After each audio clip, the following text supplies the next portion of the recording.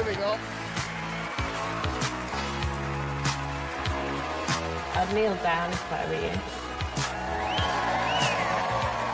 That's the first for a start.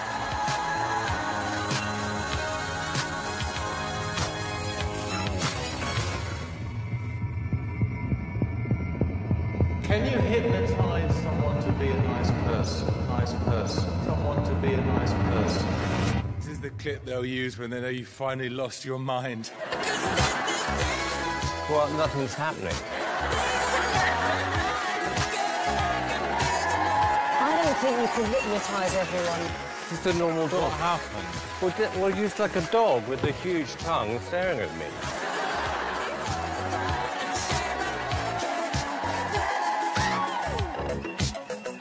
So just hit the button below if you want to see loads more Britain's Got Talent clips. Go on. You know you want to.